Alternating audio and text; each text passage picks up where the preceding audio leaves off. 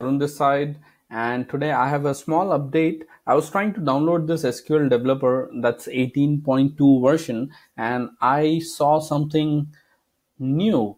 So if you see this one, we have Windows 64-bit with JDK9 included. Now that's something new I have encountered. In the earlier versions of SQL developer, we had to separately download the JDK then install the JDK, later on give the path of the JDK inside the SQL developer installer, and then only the installation would proceed.